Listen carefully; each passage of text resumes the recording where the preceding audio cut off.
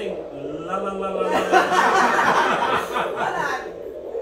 that I'm pregnant. Ah.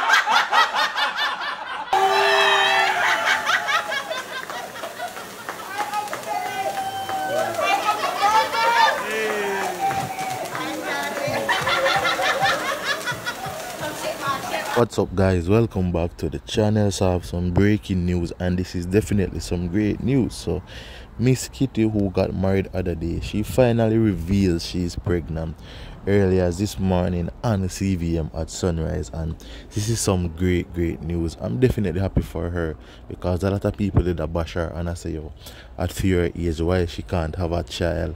And a lot of things more but she finally revealed she's pregnant and me know say yo for her husband happy for her and the whole of Jamaica happy her and me know the haters them not happy know, because of them see a man did a bash her and I say yo why she can't get a pit and she always a talk about this and that and she can't get a man and she can't find a and she can't get a pitney. So now she's married, she's settled down and she's having a child. So as I said, definitely some great news, and I'm definitely happy for her. As I said, she she broke the news earlier this morning on CVM at sunrise. So right now, people, the whole of the haters them I got upset about this, but you don't know. So so, there's actually some real fans out there who love and support Miss Kitty right true. So me know say you was here definitely happy for her. And if you're not happy also, drop some likes on this video. Subscribe to the channel if you are new.